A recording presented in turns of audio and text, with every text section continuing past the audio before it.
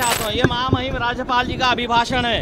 हम पूरे मध्य प्रदेश की जनता और मतदाता हम पूरी तरह से, हम पूरे ठगे गए। इस अभिभाषण में जो हमारा मध्य प्रदेश की जनता का भी अपमान है। दूसरी बात मैं बताना चाहता हूँ कि मध्य प्रदेश की विधानसभा के लिए चुने हुए जनप्रतिनिधि हम सबका भी अपमान है और जो मुख्यमंत्री और उप मुख्यमंत्री बने, भाजपा के जो बड़े बड़े नेता है, उनके लिए भी ये चैलेंज है। हमने इस बात को कहा था कि ये अभिभाषण मध्य प्रदेश की जनता के लिए, मध्य प्रदेश की विधानसभा के सदन में पढ़ा जा रहा है। ये एमपी के लिए है या संसद के सदन में ये संसद में पढ़ा जा रहा है? राज्यपाल जी ने जो अभिभाषण जो पढ़ा है, मध्य प्रदेश की जनता के साथ में ठगी है, छलावा है, कपट है, जो अभी तक भाजपा ने जो कहा और अभी ये जो चुनाव में किया, जो चुनाव में बोला, वो सब में कथनी और करनी का अंतर है। एक तो लाडली बहनाओं के बारे में कुछ भी नहीं कहा, एक शब्द का भी इसमें उल्लेख नहीं है। जनवरी 2023 में इंदौर में 100 करोड़ रुपए खर्च करके ग्लोबल इन्वर्स समिट कही थी, की थी।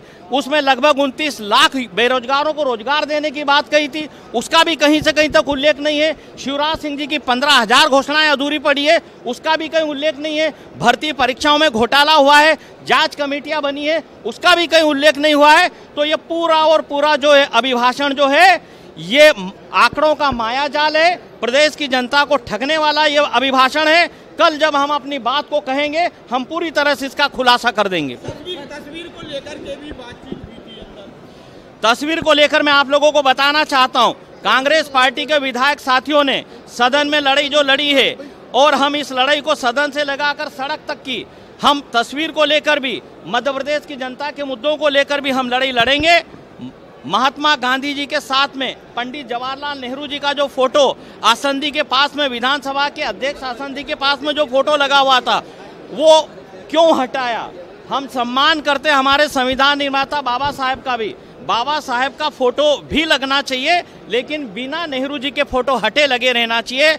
नेहरू जी का, मैं समझता हूँ कि आप हम सब बहुत अच्छे से जानते हैं, मध्य प्रदेश देश की जनता के लिए, देश के देश को स्थापित करना, देश का नवनिर्माण और विकास करना, देश को आज़ादी दिलाना। पंडित नेहरू जी का एक बड़ा योगदान और सहयोग रहा है, बड़ा उनका समर्पण रहा है। पूरी निष्ठा के साथ में उन्होंने तीन तीन टर्म में प्रथम प्रधानमंत्री के रूप में अपनी सेवाएँ देश को और प्रदेश को जो दी है यह उनका अपमान है।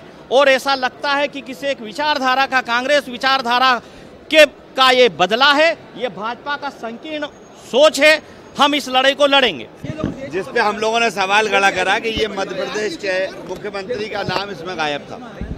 दूसरा, जो चित्र को लेके बार बार हुई है उसके लिए व्यवस्था दे दी है। और लाडली बहना, आपको पता है कि इस पूरी बुकलेट में लाडली बहना योजना गायब है, अब इसका जवाब शिवराज सिंह को देना चाहिए।